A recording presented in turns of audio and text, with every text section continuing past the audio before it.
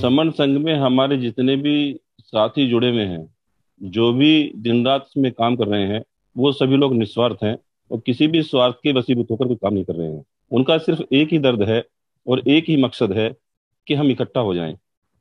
हम जितना जल्दी इकट्ठा हो जाएँगे, उतना जल्दी जीत जाएँगे। उतना जल्दी हम अपने सारे हक और अधिकारों को प्राप्त कर लेंगे। क्योंकि समण संघ का उद्देश्य ही बहुत बड़ा उद्देश्य है सभी को सुख प्राप्त कराना, सुख प्राप्त करना। और सुख कौन सा है? सुख वही सुख जो हमारा पुरातन समय में, पुराने समय में संघ में रहकर प्राप्त सभी सभी को होता था। तो वही सुख दोबारा प्राप्त करना चाहते हैं, जो हमारा खत्म हो चुका है। समन संघ बहुत ही तेज़ी से काम कर रहा है। लोग बाग आकर कहते हैं कि भाई समन संघ जो है इकट्ठा होकर करेगा क्या? एक बड़ा क्वेश्चन है कि इकट्ठा होकर करेगा क्या? तो मैं ये पूछना चाहता हूँ उनसे कि भाई जब आप स्वार्थी लोगों के लिए इकट्ठा होते हो, एक नेता है वो चुनाव लड़ता है और उसके साथ में लाखों लोगों की भीड़, जिसका कोई अपना मकसद नहीं होता और उसके पीछे पीछे पीछे जो है पागलों की तरह वो घूमते हैं, क्या आप लोग अपने लिए इकट्ठा नहीं हो सकते? आप एक नेता के लिए इकट्ठा हो सकते हो, एक संगठन के पदाधिकारी के लिए इकट्ठा हो सकते हो। अरे, एक बार अपने लिए इकट्ठा होकर तो देखिए, फिर देखते हैं आपके अधिकार कैसे कैसे नहीं बचते या कैसे आपके जो आपके साथ में दुनिया भर के अब ये सब चल रहा है, दुनिया भर के जो सब अब हो रही है, सब ये मार पीट लूट, पाट, बहन बेटियों के साथ में अच्छा बुरा हो रहा है, वो सब बचेगा आपका। दरअसल में हम सब लोग इकट्ठा होने की ताकत को आज तक समझे ही नहीं। हमने आज तक दूसरों के लिए इकट्ठे होते आए हैं। अगर हम अपने लोग इकट्ठा होंगे तो हमारे सारे अधिकार बचेंगे, और समर्थन का उद्देश्य भी यही है कि भाई हम लोग जल्दी जल्दी इकट्ठा हों और अपने हक और अधिकार बचाएँ। समण संघ के बहुत सारे अपने नियम भी हैं, जैसे कि समण संघ चंदा या कोई शुल्क नहीं लेता। वास्तव में समण संघ का कोई चंदा, पर्ची या कोई शुल्क नहीं है। यहाँ जो भी काम होता है सब निःशुल्क होता है, ना इसका कोई अपना कोई खाता है। समण संघ किसी भी, ना ही किसी सक्रिय राजनीति में जाएगा, ना ही कोई राजनीतिक भागीदारी लेगा। हाँ समण संघ से अगर कोई बाहर जाकर राजनीति कर सकता तो अवश्य करे। कोई परहेज नहीं है और समण संघ उसके साथ है। इसका कोई नेता, कोई संस्थापक या निर्माता निर्माता, पदाधिकारी या कार्यकर्ता भी नहीं होगा क्योंकि पहले ही बता चुके हैं कि संविधान इसका नेता है। संविधान के द्वारा ही संघ चलता है, जो उसके नियम है, उसके द्वारा ही इसमें फॉलो होते हैं। समन संघ का जो अपना मीटिंग का जो मीटिंग होती है हमारी उसके भी अलग अलग तरीके हैं। जैसे कि मीटिंग हम जब करते हैं तो मीटिंग में सभी साथी अपने वाहन से आते हैं और वाहन में भी कोई अकेला नहीं चलता। चार या पाँच लोग जितनी भी उसकी क्षमता होती है सब शेयरिंग करके आते हैं। खाना भी अपने साथ लेकर आते हैं। जो दरी या गद्दों का खर्चा होता है वो भी सब लोग अपना सम करते हैं। तो यहाँ उसका भी कोई अपना कोई खर्चा नहीं है। सभी मिल बा, मिल बांट कर खाते हैं। और अपने अपने विचार व्यक्त करते हैं समर्थन को बढ़ाने के लिए, सभी को इकट्ठा करने के लिए सभी लोग अपने विचार व्यक्त करते हैं।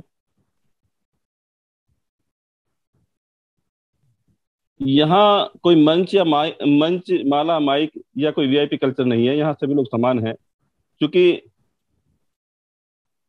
चाहे कोई नेता हो, चाहे कोई बड़ा अधिकारी हो, यहाँ सब लोग समान हैं। छोटा कार्यकर्ता भी उतना ही वैल्यू रखता है और बड़ा भी इतनी वैल्यू रखता है।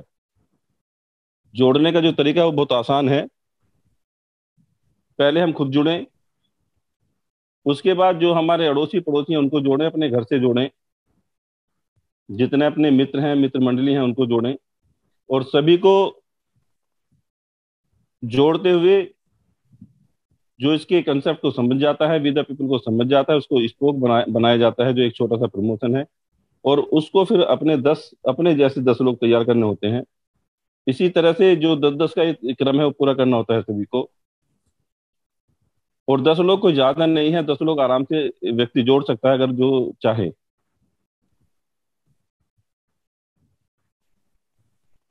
विदा पीपल आज की डेट में बहुत ही अच्छे गति पर है। समन संघ हमारा 18 स्टेट में फैल चुका है, बहुत तेज से काम भी कर रहा है।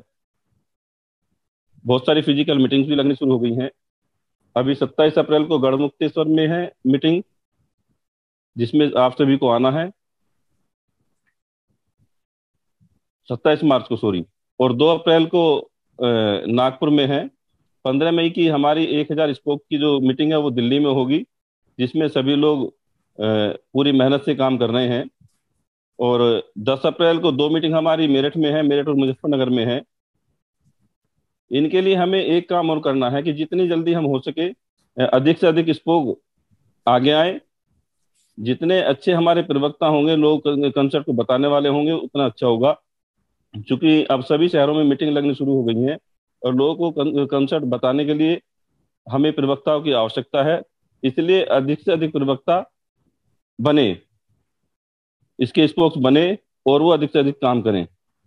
गाँव गाँव जाकर काम करें शहर शहर जाकर काम करें, जामुले सर की तरह घर घर जाकर काम करें, तभी हम अच्छी तरह जुड़ सकते हैं और अच्छी तरह हम प्रोग्रेस कर सकते हैं। जितना जल्दी हम इस काम को कर लेंगे, उतना जल्दी हम अपने विदा पीपल को पूरे भारत में फैला सकते हैं। और जितना जल्दी जुड़ेंगे, उतना अच्छा उतनी जल्दी हम जीत जाएँगे, क्योंकि समण संघ का अपना एक जैसे कि जुड़ेंगे, जीतेंगे जहाँ जहाँ जुड़ेंगे, वहाँ वहाँ जीतेंगे, जितना जुड़ेंगे, उतना जीतेंगे। जैसे जैसे जुड़ेंगे, वैसे वैसे जीतेंगे।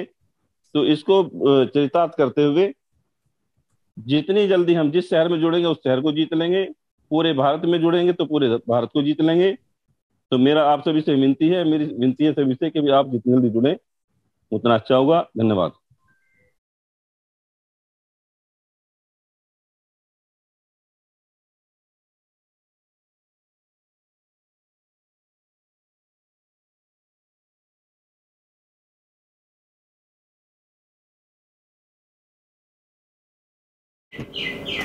आप सभी से ये निवेदन है कि अगर आपको ये वीडियो अच्छी लगती है या बाकी वीडियो अच्छी लगी हैं, और आपको लगता है कि धर्म की वीडियो किसी को और मिलनी चाहिए या किसी को गिफ्ट में भेजनी चाहिए या किसी भाषा में कन्वर्ट करके आगे बढ़ानी चाहिए या प्रिंट में, किताब में छापनी चाहिए या इसकी जो ऑडियो है उसे निकाल के भेजना चाहिए या इसका किसी पार्ट को इस्तेमाल करना चाहिए तो आपको लिबर्टी है, आपको छूट है। ये सभी कॉपीराइट फ्री हैं। आप अपने फेसबुक पे, अपने पेज पे, अपने ट्विटर पे, या अपने हैंडल पे, या लिंक को कहीं भी शेयर कर सकते हैं, कहीं भी चला सकते हैं, आप यूट्यूब पे भी चला सकते हैं, अपने नाम से चला सकते हैं।